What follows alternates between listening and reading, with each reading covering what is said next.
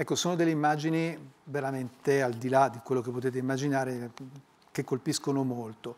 Così come colpisce, eh, vediamo Stefania se riusciamo, guardate questa immagine, è un'immagine di un biberon. Allora, chi di voi ha avuto figli, chi di voi ha figli, sa molto bene, no? Il biberon di un bambino, di una bambina di 18 mesi.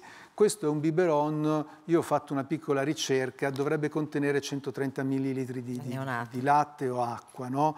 che non è un pasto per un bambino di, o una bambina di 18 mesi. Forse, eh, addirittura forse questi sono quelli speciali contro eh, il, il, reflusso no? contro le colichine, quindi sono per i neonati. Sono per i neonati, sono a volte per l'acqua, perché a piccole dosi per la camomilla. 130 ml. Ma non sono mai il pasto di un bambino in crescita di 18 mesi, questo è totalmente da escludere, questo è un biberon da neonato o da acqua e camomilla. Allora, perché però è importante, rivediamo questa, questa immagine, perché è importante questa immagine? Perché il momento in cui Alessia Pifferi decide di abbandonare eh, la sua bambina e se ne va in limousina a fare questo lungo fine settimana eh, con il fidanzato, lascia questo biberon noi abbiamo sempre pensato, nella nostra ingenuità, dottoressa Bruzzone, che fosse il classico biberon, quello grande, per carità non sarebbe comunque bastato, anche se ricordiamoci no, però, che la bimba, la bimba proprio... è morta il 19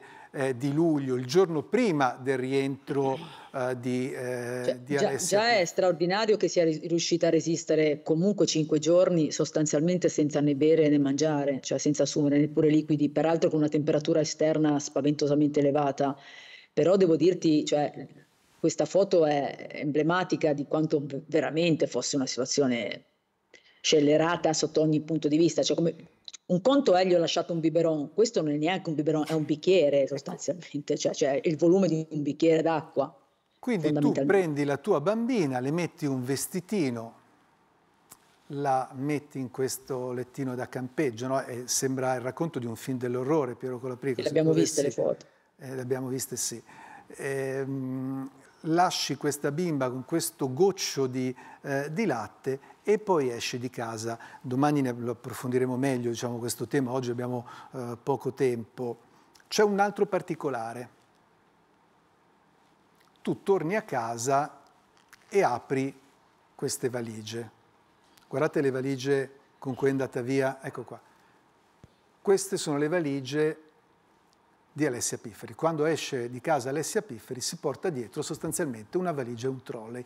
Questi sono i vestiti che Alessia Pifferi si porta, si porta dietro, no? si porta per fare questo fine settimana. Quindi la bambina è in questo lettino da campeggio, colorato, blu, giallo, con questo piccolo biberon da neonata per la sopravvivenza, forse una bottigliettina d'acqua, anche quelle piccole, no? peraltro bevuta in parte, ritrovata sul tavolo di cucina, per cui non sapremo mai esattamente e questa invece è la dotazione della mamma no? per il fine settimana.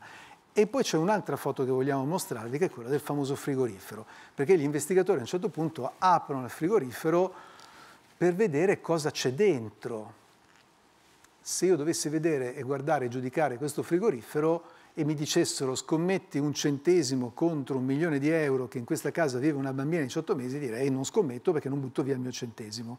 Quindi questo non è il frigorifero della, della casa dove, dove c'è una bambina di 18 mesi. E anche questa è una domanda. Poi c'è un'altra domanda, vi faremo vedere domani le immagini perché credo forse questa non l'abbiamo presa. Eh, quando gli investigatori, quando la Polizia Scientifica di Milano, peraltro la squadra mobile ha fatto un lavoro meticoloso e come sempre molto accurato, straordinario, trova una, lava, una lavatrice e all'interno della lavatrice trova dei vestiti.